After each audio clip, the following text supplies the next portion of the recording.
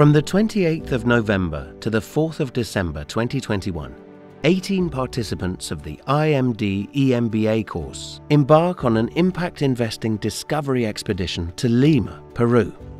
The expedition is a week long journey of international connectivity and collaboration, of experiential learning, and of personal and professional growth.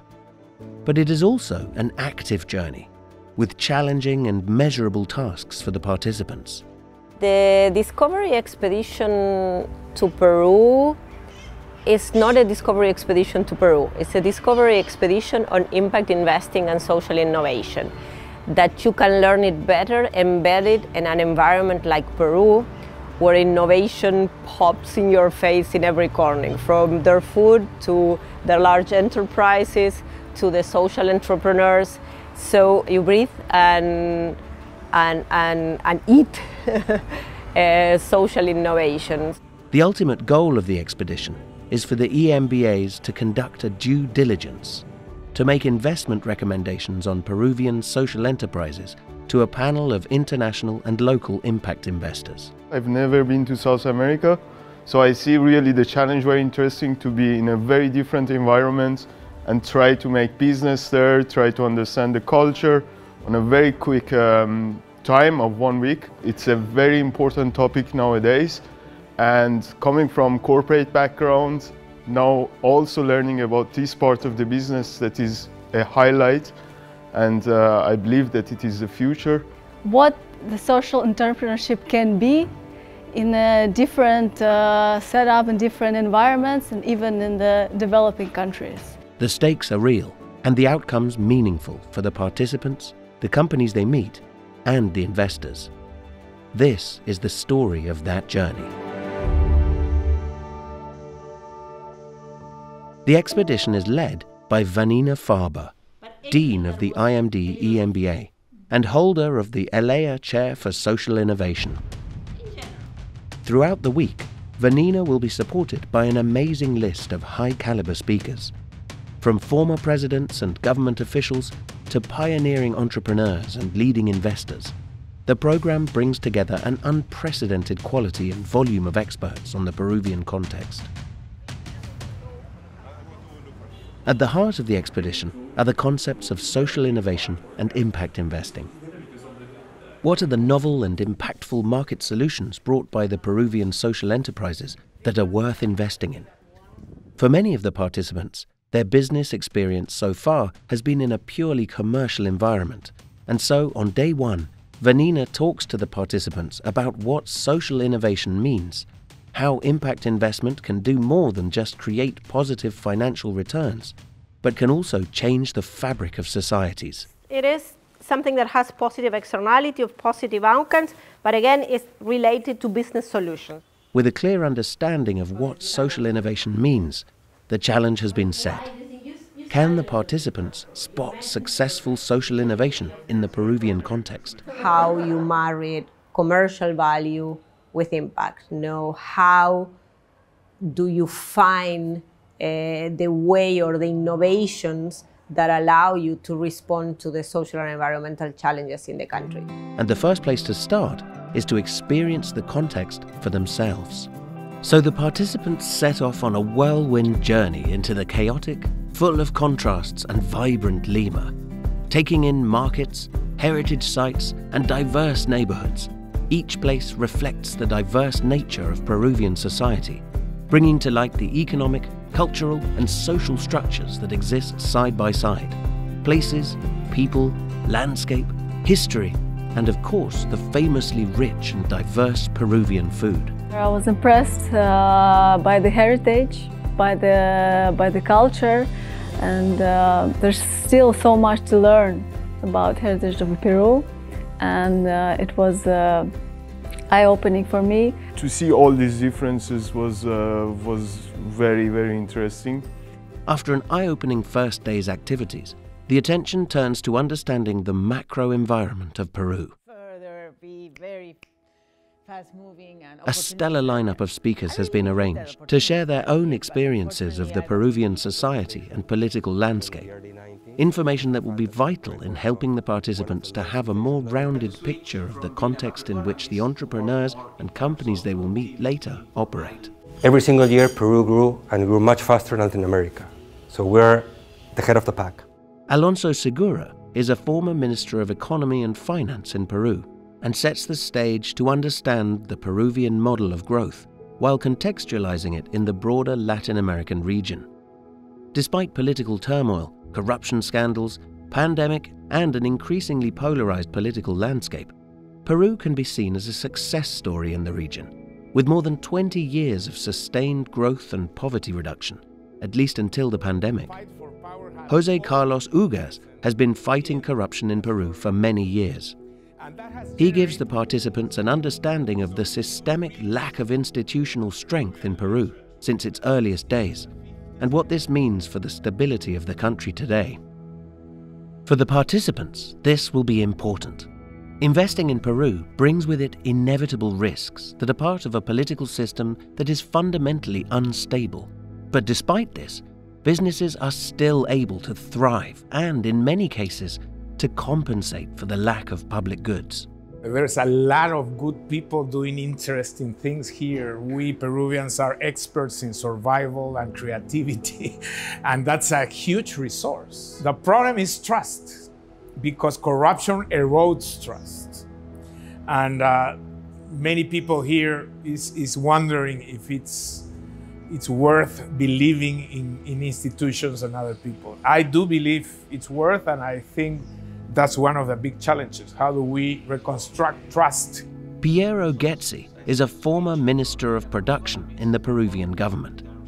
He has a deep understanding of the role of private capital and public capital in the Peruvian economy, as well as the relationship between informal and formal structures of business in the region. He explains to the participants the concept of two Perus, how it is perceived at a macro level, and the reliability on the ground. Well, it was amazing to, to listen both sides, like the macroeconomy and the microeconomy, and then uh, trying to make sense of what's happening inside the country, especially to, to listen to, to the political history of the, the, the country and what is happening.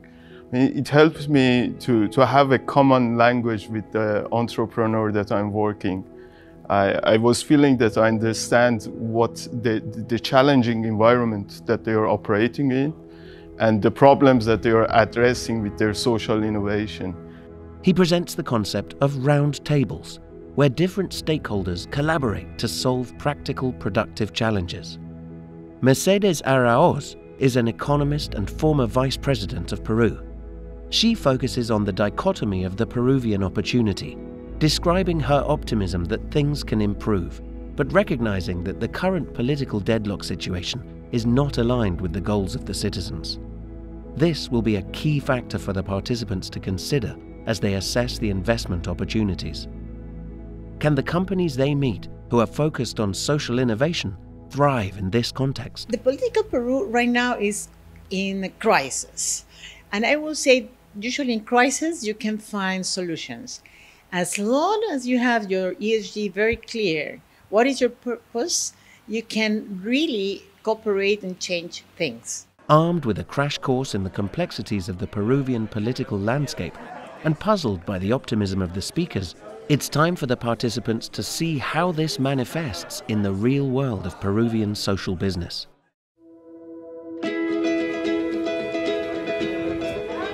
Time to start meeting the companies they've previously only spoken to from afar and get face to face with the entrepreneurs. This is game time. In the afternoon and tomorrow morning, They'll meet the leaders of the businesses and start to form their views of whether what they're building is genuinely worth investing in. The key challenge is to actively listen to them. What has uh, impressed me the most is, is the passion of our entrepreneurs for the social impact. So the first, we need to really understand the business model and the logic behind to grasp the understanding of the social purpose they're trying to achieve because certainly they, their purpose is good and the intention is good. But we need to make sure that the social impact lasts the long term and can survive with the business realities in the country. We are here In Lima, we have here our Andean grains plant, and then we have the, the plant in Cajamarca and the other plants in, in Ucayali. There are many challenges for the participants at this stage of the expedition. They need to understand the value proposition and place in the market of the companies they're meeting, and to use what they've learnt about the Peruvian economic, political, and social landscape as a lens through which to view these businesses. Are they bringing to market solutions that address the challenges identified by the speakers, such as the informality of the economy, the two Perus, the lack of quality public goods like health and education? They need to create a relationship of trust with the founders of the businesses and get a sense for whether they would be good candidates for impact investment. And they need to bring a rigorous and analytical perspective to evaluating the scalability of their business models. Do these companies make for good investments? And as importantly, is impact at the core of the business? Even if the business model is robust, with a proven need in the Peruvian market, are they able to demonstrate meaningful and sustainable social impact as they grow? It can be difficult to separate each of these considerations, and the participants spend many hours discussing the companies in their groups and debating the issues. This is going to be paid by the company. By the company. So the company is basically paying uh, this uh, software as a service that you're providing to them as an additional fee. And this is the principal studio. Maybe you want to see over there. As well as meeting with the companies, the participants were also able to broaden their understanding of what the companies were offering by arranging time to talk to other stakeholders. This includes board members, existing investors, and also, very importantly, customers who are using these products and services. What is becoming very clear for the participants as they build out the case for each company is that there is much at stake. Separating their emotional connections to the charismatic and purpose driven entrepreneurs and the much needed goods and services they can offer from an investment recommendation is no easy task. It requires sound and critical reflection, and they try to remain conscious of the fact that whatever recommendation they will ultimately offer to the investment panel will need to be backed up by a very clear and thought through set of financial and impact reasons. The LA Away due diligence framework, written with Peter Wuffli, is key in helping participants to structure this task. It's all about checking the assumptions, getting feedback from different perspectives, and try to put all these feedbacks into context of our work for this project. I think the amazing thing here is that we see that the entrepreneurs hold the key to their future and they do it in collaboration with the impact investors and in the context of Peru, this amazing dual society, many different elements of the economy here. And we're really seeing the value that these entrepreneurs can bring. And actually, it's up to them to deliver. So it's been great to find out about really the way that they evolve as a company uh, through their journey and could be supported by the investors in the future. Uh, what I have learned that uh, social entrepreneurship is a journey with its ups and downs, but to make it through, you have to put the purpose of your social impact ahead of you and follow follow the dream. They had uh, politicians, policymakers, successful businesses, so they had all this this information uh, in their head and sometimes even getting very attached to the entrepreneurs, but they need to step back and think as an investor because they need to advise investors. They need to think again about country risk when now they feel safe, know? So I think the idea is how, how they are going to make the decision now, how they're going to bring to marry these two things when uh, sharing with all these people in Peru became very personal. It's the end of day three, and the participants are making sense of everything they've heard and starting to form some initial thoughts for their investment presentations. But refining those can wait for another time. After a thrilling three days, what better way to unwind than to get a taste for Peru's famous speciality, pisco? In Book Vivant, an innovative bookstore that marries the love of books with a love of spirits, they're treated to a spirited evening of all things pisco. Oh, good pisco. Learning about the history of Pisco, the possibilities and varieties, the role it plays in Peruvian life, and the passion that is evident in the Pisco industry. You can feel the fresh, they're of course, but the freshness.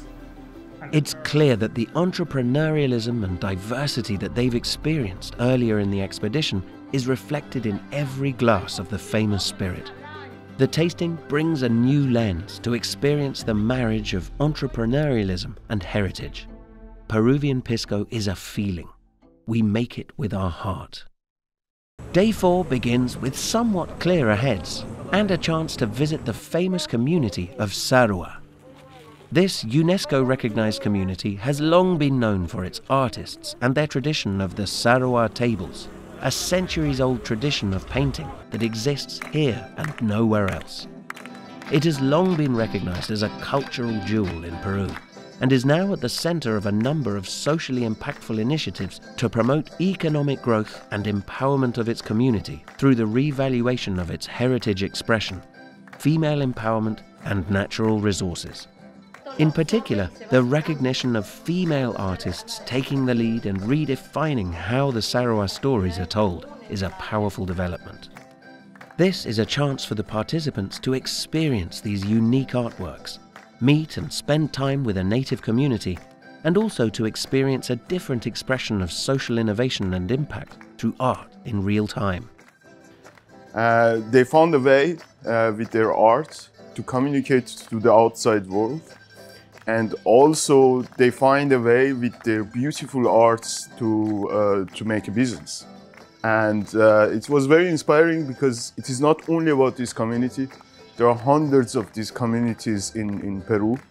They have great ideas, they have great art, yet they are not really businessmen. So it, it brings a lot of um, space for social innovation to support these communities and also to help them, for instance, to, to bring their arts to the world and to the outside, of, outside world. After the Sarhua visit, the participants return to their base with a Sarhua table in their hands that tells their own story of the DE. Though Sarhua represented a break from immersing themselves in the companies they'll be presenting, it reminds participants that business can be a tool for empowerment. Minds are now ready to focus not only on social entrepreneurs, but on the impact investors. If the participants are to make meaningful and persuasive arguments to impact investors, they need to understand what these investors are looking for. What drives them? What are the key data points they need to make decisions? What resonates with them? And how do they make decisions? There's a, there's a former uh, IMD president called uh, Peter Lorange. He liked to say, good can always be better. And here, uh, what I'm seeing a lot this, uh, this week is that uh, when you're trying to do good, um, you're often challenged with, you know, what's what's what's the next best thing you can do. It's time to understand the mindset of an impact investor. A list of the most experienced and influential impact investors in the region has been brought together to meet the participants. Adrian Acaret is the CFO of the Elea Foundation. The purpose of the foundation is to fight absolute poverty with entrepreneurial means capitalizing on the benefits and opportunities of globalization. They live and breathe philanthropic impact investing and can share invaluable insights for the participants as to what gets an impact investor out of bed in the morning. Adrian discusses the live case study of Inka Moss with the group and what they can learn from this live due diligence. And participants discussed the best financial instruments for impact investors to marry returns and impact question would be where there is a real um, need to have this combination in order to make certain innovations even possible and um, kind of uh, uh, scalable in the medium to long term. The next guest is Jorge Fafan, an impact investor at Bamboo Capital from Switzerland. They specialize in impact investment through innovative financial solutions to businesses. Essentially, they power impact businesses and are very active in LATAM. There is room to improve. Let's work on that. Next to address the participants was Natasha Barantseva from Andes Impact Partners. As well as describing how they evaluate impact investment in the region, Natasha spoke about gender lens investing and the emerging role of women in the impact ecosystem, both as investors and entrepreneurs. Participants start understanding the different faces of impact investment and the different impact focus and risk return profiles of the speakers.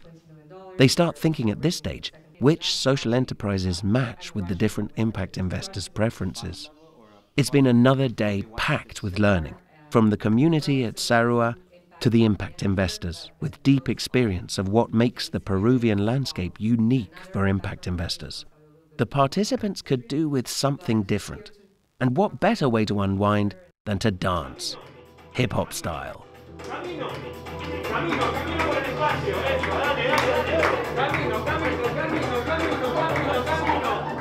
D1 a social enterprise that participants are analyzing returns in a different way. The team are pushed outside of their comfort zone. At least some of them are. But for everyone, it is a chance to move, to express themselves, and to deepen their bond as a group through a thrilling shared experience while meeting the instructor who shows clearly the impact that D1 has on underprivileged youth. Day 5 brings to the picture successful and impactful corporates. They have the opportunity to hear from three Peruvian businesses that marry social and environmental impact with financial returns. Kuna, Inkaterra, and Danper are Peruvian business success stories. Alonso Burgos and Andres Chavez Cutzi shared how the Black Alpaca exclusive collection became the answer to conserving the pure black alpacas currently in danger of disappearing while preserving the textile legacy of Peru and reducing environmental damage and use of chemical dyes.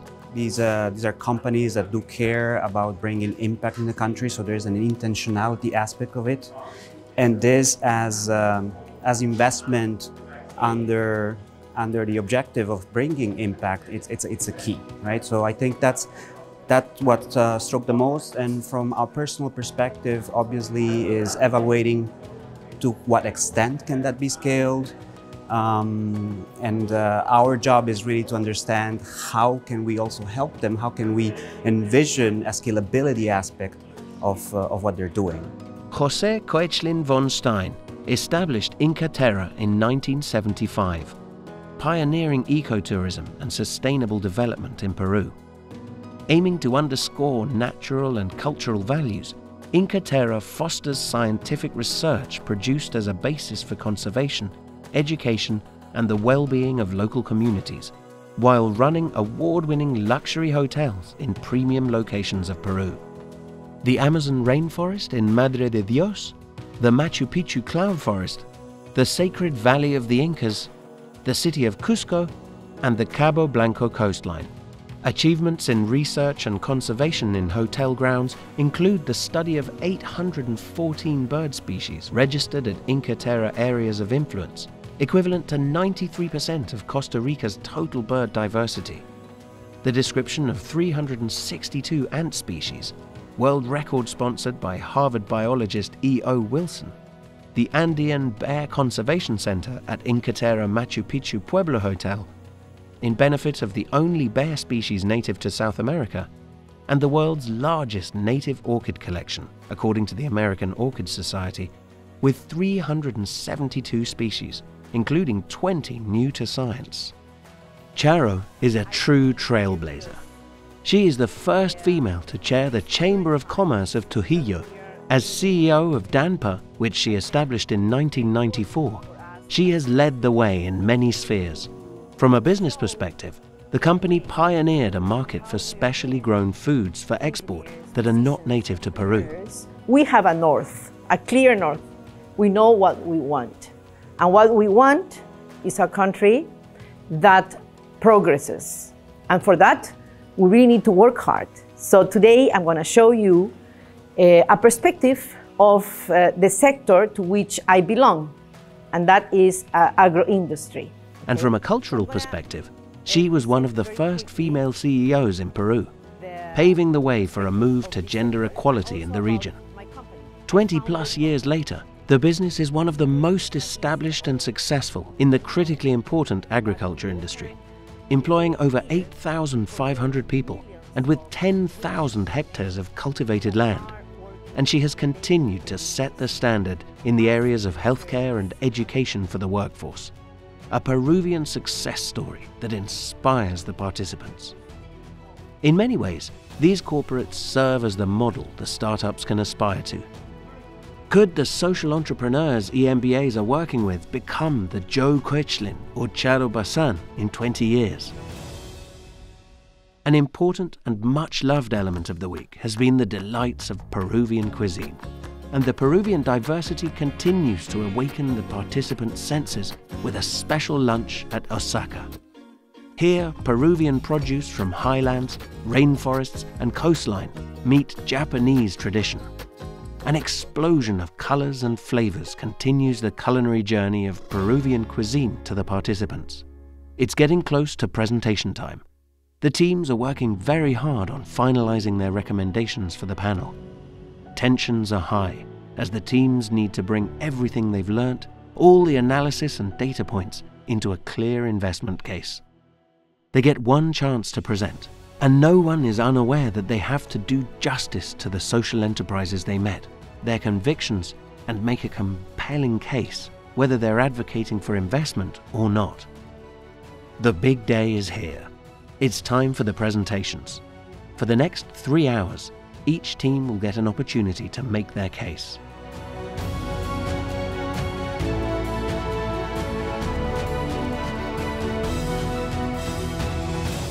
It's done. All the work has culminated in powerful presentations from every group. The panel have a chance to evaluate and feedback, and it's now in their hands. For the participants, the experience has been in parts thrilling, emotional, difficult, challenging, and mostly inspirational. Uh, the whole week has been amazing, and there's so many highlights that come up to my mind. But the key takeaway for me is uh, not to lose the sight of the financials in the due diligence of the social entrepreneurs. We were so much focused on identifying the social impact and making sure it is there, that it's sustainable, but sort of lost a little bit of track of the revenue streams and the financial side of it. I felt positive and uh, felt empowered representing the, um, um, the different perspectives. So that was amazing for sure. The, the great teamwork that we had, preparing everything together, uh, sharing the responsibility, that was nice. Uh, it's also interesting to see how these entrepreneurs need to balance profitability of the company versus impact. Uh, it's a real challenge for them and it was also a challenge for us to demonstrate that it's uh, worth to, to invest in these companies to these investors. What surprised me most uh, this uh, week is that I actually discovered business model innovation. I discovered new business models with social impact built into those business models, connecting you know, uh, fringes of the population that would otherwise be segregated, for instance, and creating value together. Um, to me, that was, that was the main learning. and. And this is this innovation coming from, uh, from the global south or from emerging economies that is very, uh, very inspiring. The most uh, challenging part of uh, the assignment were really to change perspective. Uh, we're used to thinking with our own uh, European perspectives, which impacts the way we do our business, which is not the same reality here in, in Peru. So what we were able to observe and understand by being here in Peru is uh, just, uh, just amazing. I felt, of course, nervous, and on the other side, I felt really excited about their opportunity to present in front of their um, uh, VCs. So that was, I felt it was a mixed feelings for sure. Well, the presentation was quite challenging because we've learned a lot during this week and uh, being able to convey a clear message and uh, demonstrate what the social value uh, that these entrepreneurs bring with their company, plus uh, demonstrating the financial um, uh, profitability of the companies was not always a busy, and easy, an easy task. Uh, you get an assignment, but it's far beyond this assignment. You have to go really deep, working with the entrepreneurs. To celebrate the week, they're going to experience another of Peru's delights, the ceviche experience. Segundo Muelle my restaurant, no? It's a chain of restaurants. We have 16 restaurants in the world, six in Peru. To close the week, the participants are treated to an audience with a very special guest. Francisco Sagasti is a former president of Peru, 2020 to 2021. The region is really an enormous potential.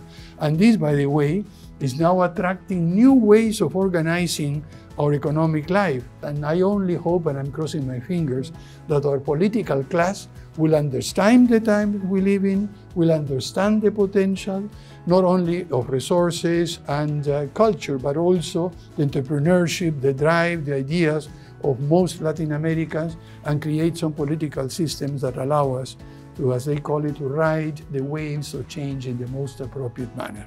He reflects the feelings of the group after their week. Optimism is the key word. In Peru, the power of people and business as agents of change and the role of impact investing to make a real difference.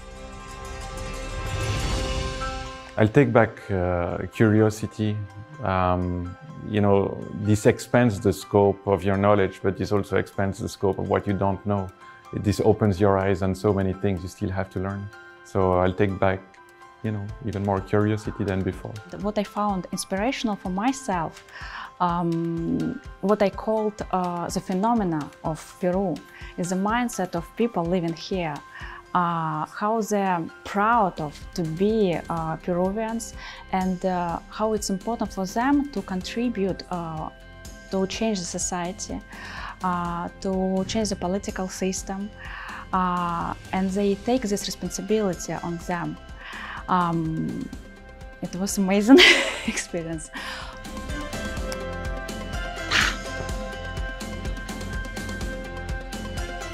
In Peru, in the power of people and businesses as agents of change, and the role of impact investing to make a real difference. And with that, the expedition has come to a close.